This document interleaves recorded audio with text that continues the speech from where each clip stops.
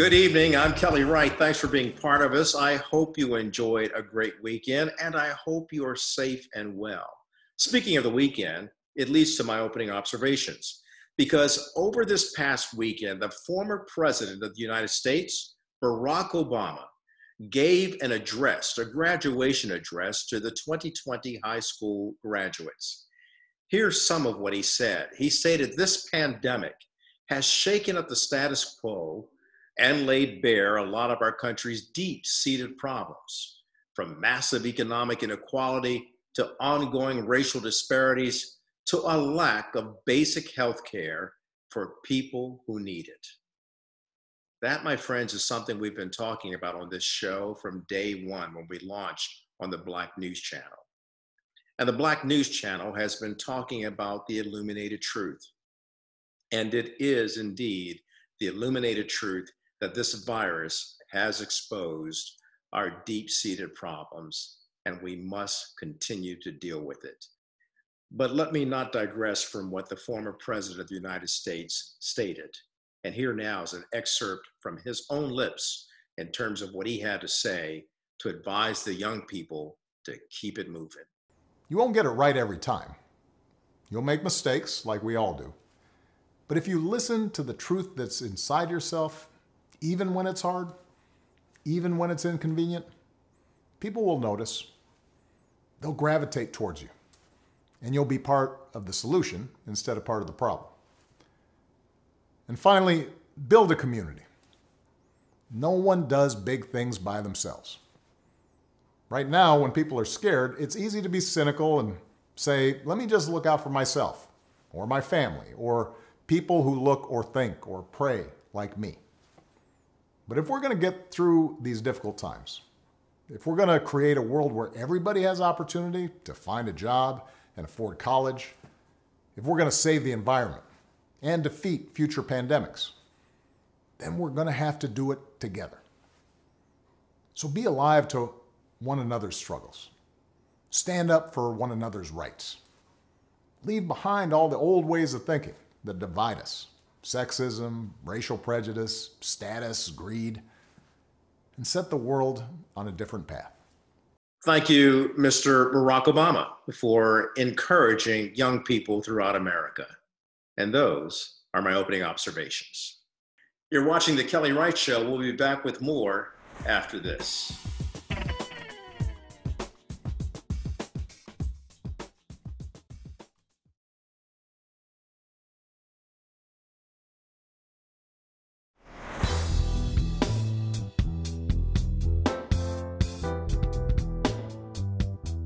So, welcome to the program. And tonight we want to focus on what's happening with the stimulus package, also what's going on in terms of how Congress is trying to address the needs of the American people. And what better way to do that than to talk to the chairman of the Education and Labor Committee in Congress, and that is Congressman Bobby Scott of the Great Commonwealth of Virginia. Uh, Congressman, good of you to join us today and to weigh in on these myriad of issues that still plague us due to the pandemic. Uh, let's start with the stimulus because a lot of American people are still saying we still don't have enough uh, money to conduct our business, to conduct our education, to just live. What are your concerns about that, sir? Well, the first part of it is the economy. We have a consumer-based economy, and as as businesses are shut down, uh, people need to make sh- we need to make sure that people maintain their income.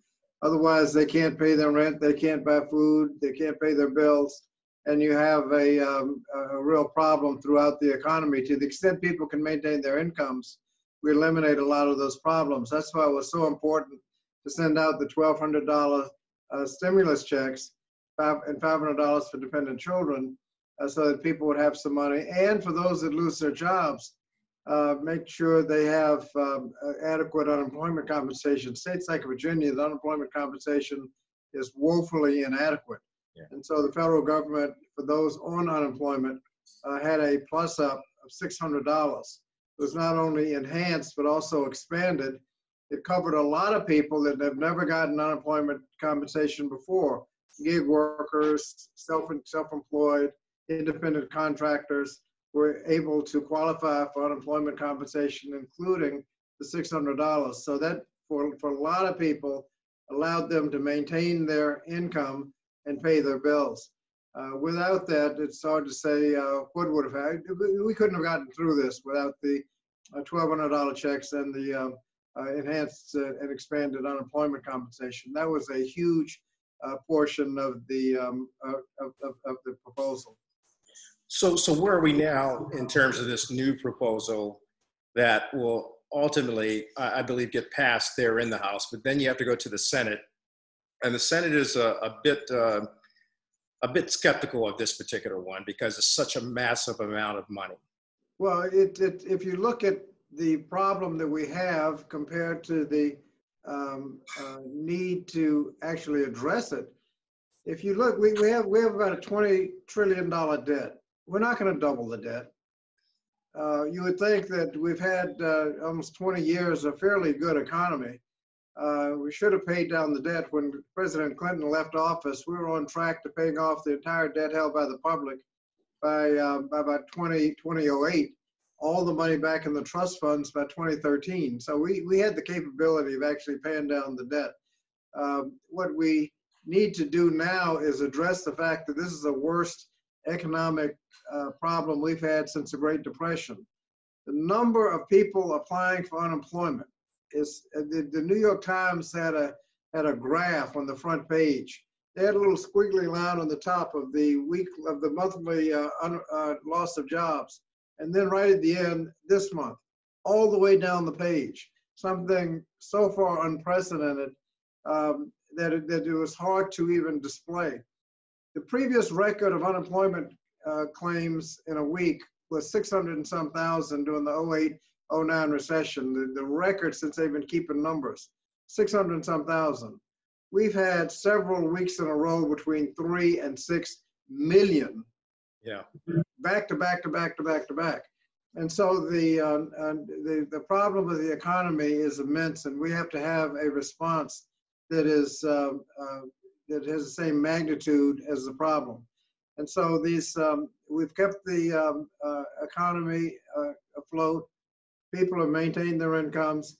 The next step is to make sure that we extend the, the pandemic is going longer than we than we had hoped. Uh, We need to maintain the unemployment compensation. We need another round, round of checks. We need education money. But the number one thing we need is money going to state and local governments. Uh, Virginia actually was a perfect example of what uh, the states are going through because our General Assembly session ended just as the pandemic was starting. And so we saw what a budget was supposed to look like. Six weeks later, the procedure is that the General Assembly reconvenes to consider amendments by the governor and the governor's vetoes. During that time, of course, by, the, by then we're in the middle of the pandemic. The revenue estimates have changed. Yes. I the Education and Labor Committee. I looked at the education part of the budget. I noticed that the 2% raise for teachers this year and next year evaporated. Counselors in elementary schools evaporated freeze on tuition in colleges evaporated. One college lost $100 million in construction funds, evaporated. If we can get money, if we could restore the revenue losses to states and local, all those kinds of funding can go back. That's just the state budget. On a local level, a substantial portion of the uh, budget is education. You can't have significant cuts uh, in, in your budget without affecting education uh, costs. You can't do it without laying off teachers and expanding uh, uh, class sizes. So, and so the state and local government is the number one uh, priority. If we can do that, then we can put more money into education and it would actually be a plus. Uh, students um, need summer programs to make up for the time they've, they've, they've already had their summer. Uh, this thing called summer slide, people kind of regress during the summer. They've already had that we got to get back in, in, in, in, summer programs. We need to address the achievement gap. We need technology uh, for distance learning. We need to address the problems of special, of uh, special education students. There's a lot we need the education, but whatever we put into education, if we don't do the state and local revenue shortfalls, we'll just be backfilling what they're cutting, and we won't even be treading water. So the number one priority is state and local funding then education, and then uh, and then the uh, continue the um, enhanced unemployment compensation, maybe another round of um, uh, of new checks. Um, we need we need to make sure that uh, uh, people who lose their jobs, we've got about 30 some million people have lost their jobs in the last few weeks. Regrettably, in, in America, when you lose your job, you lose your health insurance. Yes. There is a provision that you can keep your health insurance. All you have to do is pay the premiums and you can stay on, on your on your policy. Those premiums could be 500, 1,000, even $1,500 a month. If you just lost your job, you don't have $1,500 a month.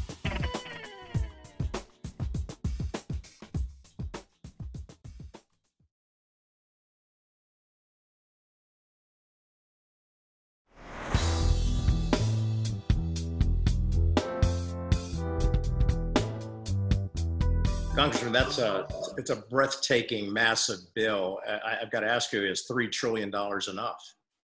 I think most of the economists are talking in the three trillion dollar uh, level as the appropriate uh, size uh, at this point. If it goes much longer, we might have to come back.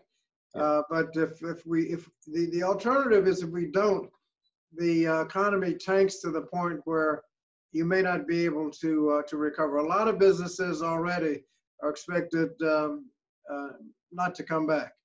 Uh, and if you if it goes much further in depth, a lot of businesses will go under. Major uh, businesses, a couple of uh, major uh, companies have already filed for bankruptcy. if it goes, if we do not have consumers buying things, many many others will will, will, will follow suit. we need to make sure that we have the response that is consistent with the problem that we have. And if we do that, we'll be able to get through it. You know, that, that goes to the point uh, of concern that with businesses, some businesses closing and perhaps never being able to repair, repair the breach, there, it's, uh, there's a business that's going on in African American communities and brown communities whereby they're not getting access to the capital that they need to sustain or even stay in the game, so to speak. So, do you have some concerns about the adverse effects of the disparities that this coronavirus has caused? Well, one of the things about this um, pandemic is that it exposes uh, disparities all through the system. Yeah. Disproportionate deaths uh, are attributed to underlying disparities in healthcare, uh, disparities in education, uh, some are getting distance learning, others because they don't have the devices, don't, don't have connectivity, are being left behind. Those kind of disparities are all over the place. And in business, yeah, there's a, there's there are disparities in access to capital. The first go round, there was no question that if you had a favored relationship with a bank, you were in the front of the line. And if you didn't, if you're small, particularly the smallest businesses, uh, you never the money ran out before it got to you. Uh, we restored a lot of them. We, we replenished a lot of the money, and it's my understanding now that money may be still available. People should apply, um, and um, hopefully, and, and we also put money into uh, financial institutions in the community, not just the big banks, but uh, in the community, with the expectation that the smaller businesses would have a better chance. Uh, it, it appears to be working. The average size of the loans uh, was cut in half. I think the, the, the, so there are many more smaller loans being given. In this package, we put in a little more money targeted for the smallest businesses. I mean, we're, we're talking about small restaurants, barbershops, yeah. uh, things like things like that. Those are the ones that, with a little help, can stay open, and without help, you know, they're out of business and and so that was a target. It wasn't the publicly held corporations that have access to capital and today's uh, uh, interest rates, they can borrow at very reasonable interest rates. Uh, we wanted to make sure this capital was available. To a large extent, uh, to, to some extent, the loans don't even have to be paid back. If you use it, it's called the PPP, Payroll Protection Program. If you use it to keep people on your payroll and don't lay them off, uh, then you don't have to pay the money back. And that, that was one of the reasons uh, we promoted the plan because it's not aimed at uh, propping up the corporation, it's aimed at keeping people on the job and keeping their income uh, flowing so that they don't have the problems that occur when you lose your lose your income. You're watching the Kelly Wright Show. We'll be back with much more after the break.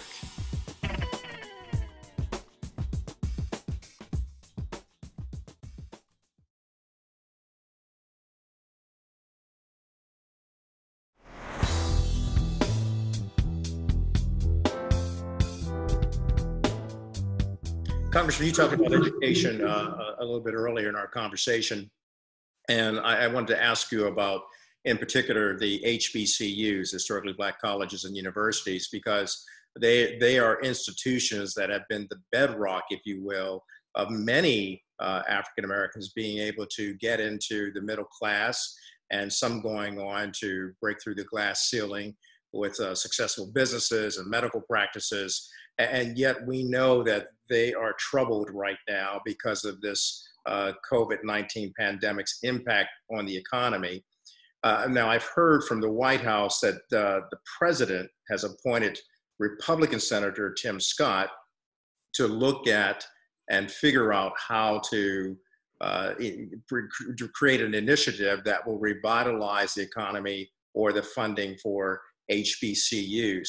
Have you heard about that? Has the, the senator reached out to you, knowing that you sit on as the chair of the Education and Labor Committee?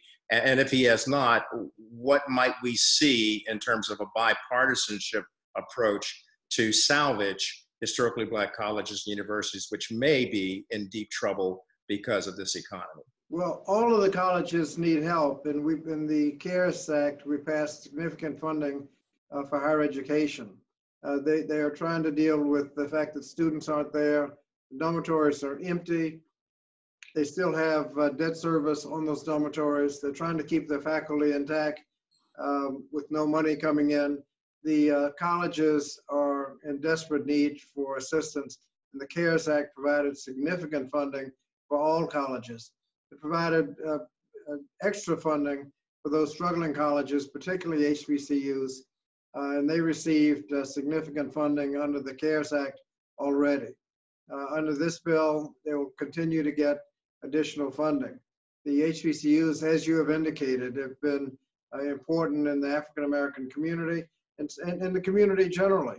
Yes. Um, because a lot of them, uh, I don't know if any of them are solely African American. I mean, like a, at least a couple were operated during segregation and were designated as historically uh, black institutions during segregation. Uh, they need significant funding to make up for the capital that they didn't get uh, during segregation, and, and so that designation has helped them get funding. Uh, but as you have indicated, it's a step, going to college is an important step into the middle class. Uh, so you don't, doesn't necessarily need to be a four-year liberal arts degree but some education and training past the high school level is essential to move up in the economic uh, on the economic ladder, and those opportunities have to be there. That's why we uh, we're considering uh, the College Affordability Act and the Education and uh, Labor Committee. We've reported it out of committee. Uh, we're trying to get it. We were in the process of bringing it to the floor um, when the pandemic hit. All of the attention quite frankly, has shifted to uh, dealing with this, uh, with the pandemic. Hopefully, we can get back to the College Affordability Act, which allows people to go to college in, a, in an affordable way. Uh, with a little, if you're willing to work 15 hours a week, you should be able to get through college with no debt at all. Uh, it helps people to pay off student student uh, student loans. Uh, it helps colleges provide the education. So I mean, there's a lot in that bill to um, offer opportunities. But uh, as you've indicated, HBCUs are an important part of that, and they have been recognized both in the CARES Act and in this legislation.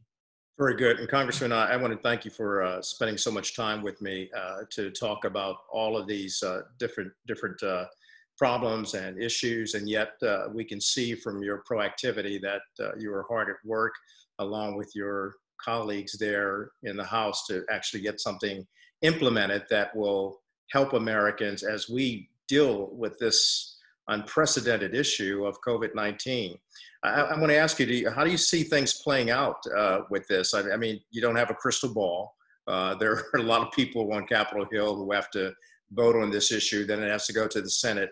But, but more importantly, how do you see it as a member of Congress, uh, as someone there in the Commonwealth, and you're seeing it reopening in phases, and yet Northern Virginia, because of its uh, population density, can't reopen fully. We have to keep uh, implementing safe measures there, as well as in the nation's capital, like you're doing yourself there as a member of Congress working in the seat uh, of, uh, of Washington, D.C. Uh, you know, people are shaking their heads saying, what do we do? And, and well, well I, guess, I, I, think if you just back up and listen to the scientists, uh, Dr. Fauci uh, testified the other day and, and, and laid out the science uh, if you just back off and just listen to the science and follow the evidence and research and scientific advice, you'll do the right thing. When you get politicians trying to figure out what's the popular thing to do, uh, that's when you get get get get in trouble. Uh, in terms of what happens to the legislation, um, the Senate has indicated that they're not uh, uh, supportive of the legislation now. The president has indicated he might even veto it, but that is before the Republican mayors and governors look at what they have to do to their budgets if this bill does not pass. If this bill passes, uh, Virginia can restore all those cuts in education and all through the budget. Uh, the uh, local cities don't have to fire teachers and police officers uh, if this bill passes. And if, the, if it doesn't pass, they will be facing uh, draconian cuts to, to, to, to their budgets. Um, those Republican mayors and those Republican governors will be whispering to the senators and to the president that they desperately need this money. And uh, I think they'll see to it. It may not pass exactly as we pass it, but I think a substantial portion of it, particularly the aid to um, uh, state and local government and the individual assistance um, and the um, uh, healthcare portions of it, I think those uh, it's going to be hard to see how you can pay, how you can how they can sit a, sit, sit, sit by and allow the economy to go in the tank uh, without addressing the pressing needs. So I'm, I'm although there you've got the rhetoric uh, uh, flourishes going on now, uh, after we pass the bill and it's sitting over there, the governors and the mayors will be will light up the phones, and the I think the senators will feel compelled to take some action. Congressman Bobby Scott, thank you, sir, Chairman of the Education and Labor Committee there on the House side, and uh, we'll continue to follow the developments and uh, never be a stranger to this program. You're always welcome here, and uh, and I like what you said earlier. Uh, we got to get rid of the politics and focus on the science. Appreciate you, sir. Thank you. Stay safe. Okay. You too. Back with more of the program after this.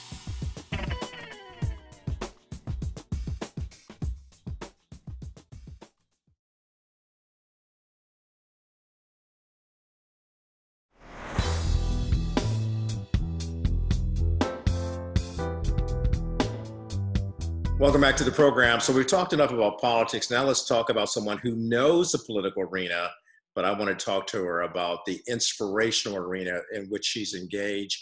Dr. Avis Jones DeWeever is a media monetization mentor. She's a media commentator, an award-winning author, international speaker. In fact, she has a book about how exceptional Black women lead.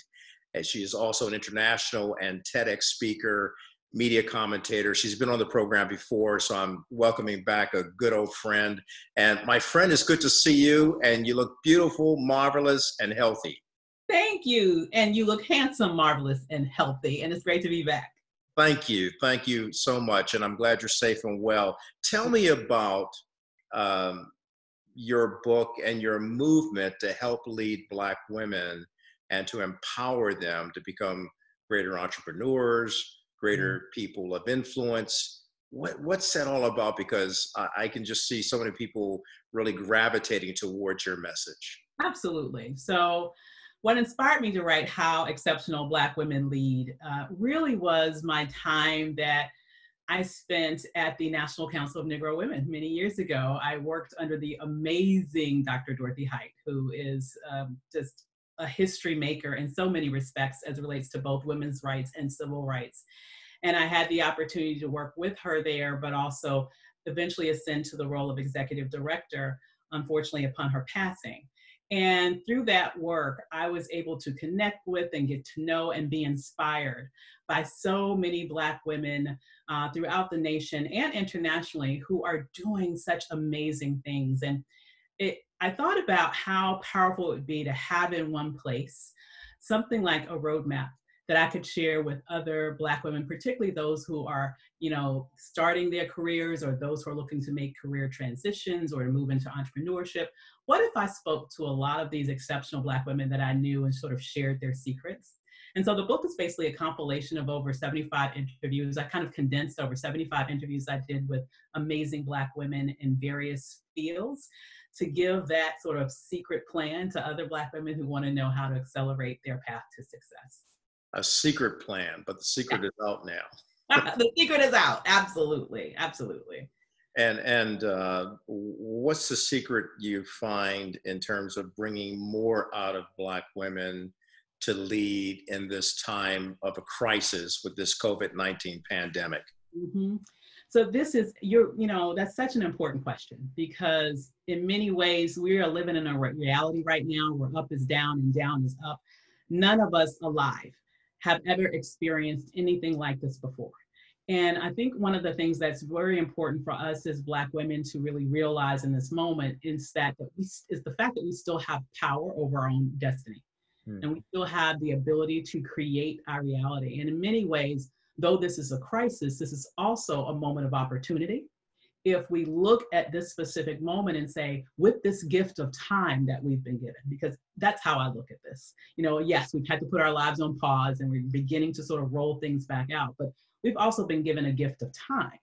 So now is the moment where we can say, is there something that I've always wanted to do? Is there a talent in me, a desire in me that I've always had, but I've already t- always told myself for years I didn't have time? Well, listen, now you have time. And let's figure out how we can best maximize this time to really get on the path to your destiny and to begin to make that destiny a reality. Now, are you available for talking to women who are seeking that time to evaluate their lives and and figure out the next best step forward? Absolutely. So they can, you know, any of your viewers can go to blackwomenlead.com. They can get more information about the book. They can also leave me a message there if they want more information. And I would definitely be more than happy to talk with them and help them to sort of begin to sort of unravel, unravel that for themselves because I really believe that, you know, out of this moment, so much new um, ideas and desires and dreams will be birthed. And now's the time to make it happen. You know, I I have missed you being on the program, and it's good to have you back because you still have that uh, effervescence of positivity. So hold that book up so we can see it again. Yes, uh, I am so there happy. It is. This is it. you can grab it at Amazon, or you can go straight to blackwomenlead.com and grab it there. Black Women Lead, and certainly you're leading them as well. Dr. Ava Jones DeWeever, always good to have you back. Come on back anytime. Absolutely, my pleasure. All right, God bless you. Stay safe, all right? You too, dear. Take care. Back with more of the program after this.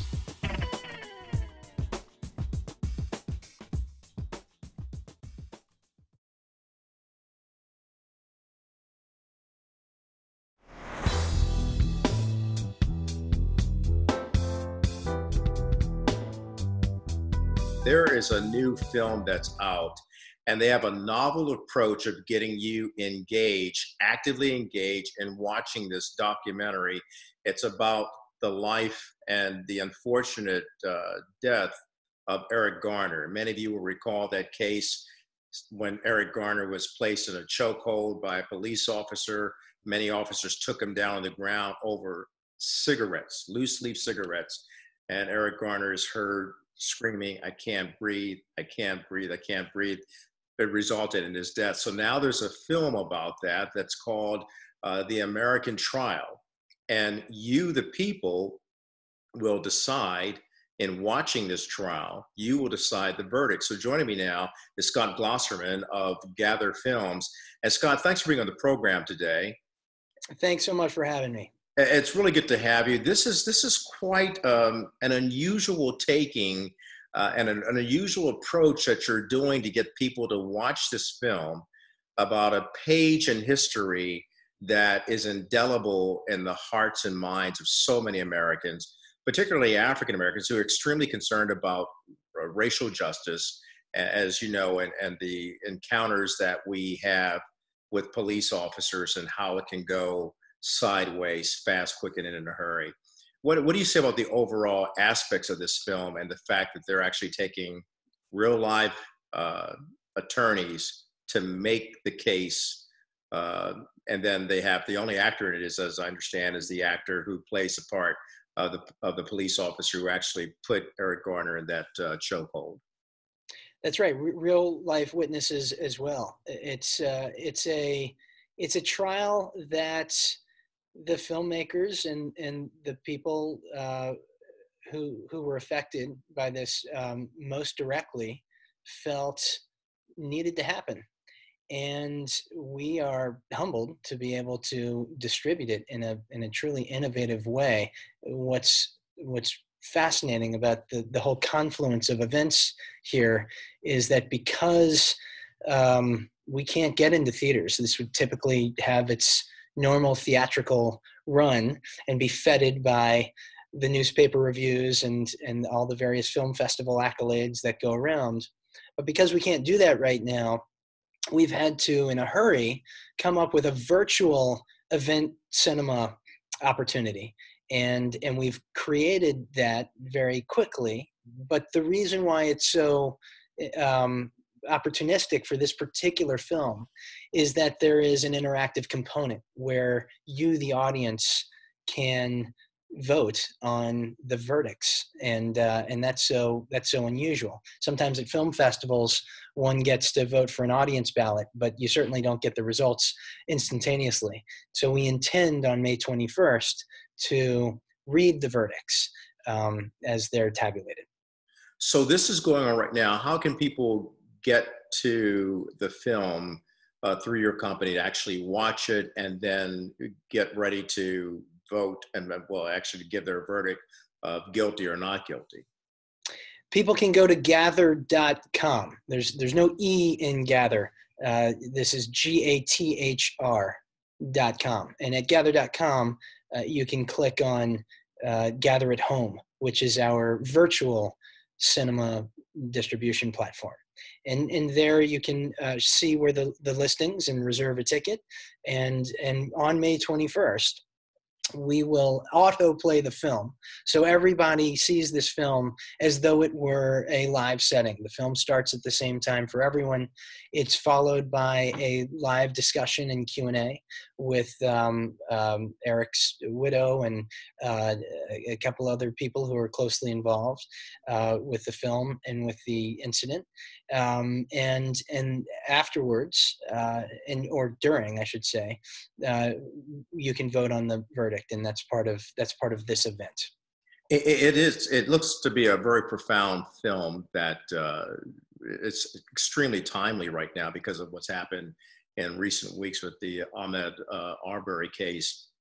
So I want to take a break right now and show the actual uh, uh, uh, trailer, if you will. We're going to take a look at that right now. And I'll come back to you and ask you again to remind people what they can do to be a part of this film and this unique, novel way of distributing it. So let's take a look at American Trial right now.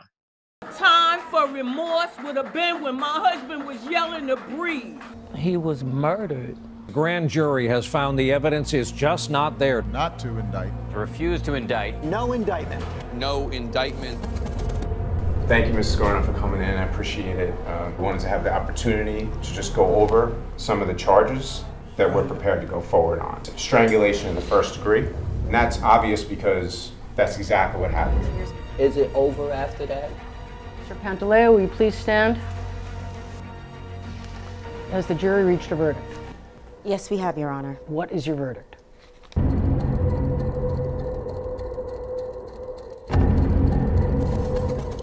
So I'm back now with Scott Glosserman, who is the CEO of Gathr Films. And, and Scott, that is a riveting trailer. You actually see Eric Garner's wife on the stand. You see other members of that community on the stand. And you see real live uh, attorneys uh, not acting it out, but actually conducting a trial. And the only actor in this case, as I've stated, is the police officer who was uh, involved in that uh, in that hold that resulted in Eric Garner's death, that chokehold. Um, how can we see the film again, and and when can people expect to render a verdict of this trial? Well, there are there are a few different ways to see the film. The most direct one is to go to gathr.com, G A T H R, no E, and uh, click on Gather at Home on on the event listings, and uh, the first two will be uh, two different screenings uh, on May 21st. One for Pacific time, one for East Coast time, in, in case you don't want to stay up that late. Mm-hmm. Um, the same discussion q&a the same guests will take part in both. So you're not going to miss anything. And uh, and as the film ends and as the discussion and q&a begins on this event watch page you'll have an opportunity to um, vote yourself on the verdicts. Uh, scott glosserman thank you for bringing us to our attention. Thank you. uh, gathr films. And of course uh, we'll be talking to the actual uh, people who are part of the film uh, in the days to come. But we appreciate you, and what a novel way to really distribute this so that people have a, have access to it and can watch it, especially in this uh, heightened season of coronavirus. Thank you, sir. Appreciate, appreciate that. Thank you, sir. All right. Thanks, Scott. We'll be back with more of the program after this.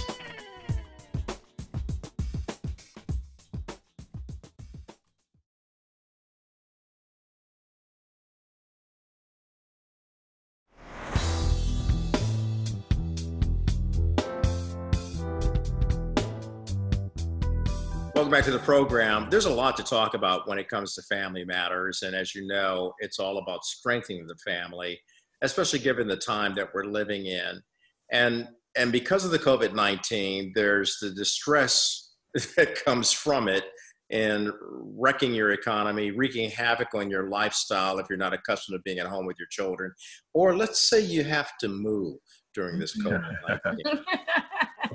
you hear them laughing. That's George and Tondra Gregory, uh, founders of Journey for Life, as well as uh, chaplains, uh, NFL chaplains for the NFL team, the Los Angeles Chargers, which is why they had to move. It's an essential job for them. So they had to get up out of their digs in Southern LA to move to another part of Southern California. Guys, what's it like for a family to move during this heightened season of social distancing? What kind of stress does that cause a couple? yes, it's a, it's a, well, you know, moving is stressful regardless, but trying to move with quarantine and pandemic and yeah. uh, just having to, you know, keep your social distancing, but you have to run and get all these uh, things in the public you know uh, the stores and everything. So it, it, it adds another obstacle course uh, in order to yeah. to complete your moving uh, experience. Your best advice to how families can can actually keep each other lifted up when they've lost loved ones due to this coronavirus we um, uh, on another episode we mentioned that we do a family zoom call. Uh, our, our, father just passed um, and in, in Feb- on february the 10th uh, and he very well could have been uh, covid-19 could have been a part of his his passing but we, we get on a zoom call as a family. Um, this weekend when we were moving we, we still took time to look at old photos and share those old photos. So we took pictures of the photos and sent them to the rest of the family. And, you know, our family loved to remember our dad. He's our hero, and yet he's gone, and we're living in a new norm. But instead of letting it take us down, we're actually letting it bring us together. Wow, that is so important, guys. Uh, George and Tondra, I mean, every time you come on, you you uh, bring us a little bit more light in uh, these dark times and a lot more hope instead of despair and certainly faith more than fear. I appreciate you guys so much. You're helping us strengthen our families, and that's important because, you know, I always say it, we have to be family strong.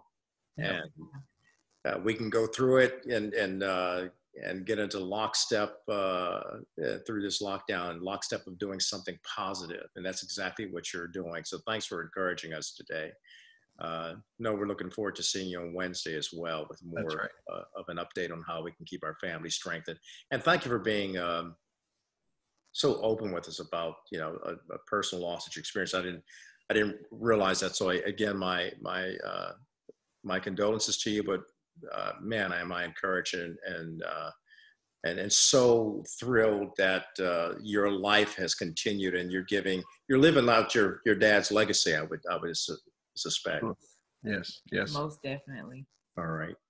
Thank you guys. Appreciate you, George and Tondra Gregory. And where can we get you guys to follow you? Yeah, you can follow us. Uh, you can go to our website at journeyforlifenow.org or on IG. You can. Uh, it's still Journey for Life Now. So important to follow because not only you are uh, are you advising people, but you're good relationship coaches. You're good life coaches. So we need all the coaching we can get Yeah. in these tough times. So Yeah. And we do. In fact, in fact, Kelly, I just want to remind your audience that we we are relationship coaches, and if someone's out there and they're in need of some coaching right now, or some encouragement, you know, we're we're here. They could go to our website, journeyforlifenow.org. Uh, we have a relationship coaching tab that they can go. It's very easy to sign up. Very easy. We have an assessment that they can take, and we can just start on day one, helping to to uh, look at their growth areas and and really hone in where they need us. Yeah. Do it now, folks. Do it now because we all can use some help. Thank you so much, George and Tondra. Back with more of the program after this. Awesome.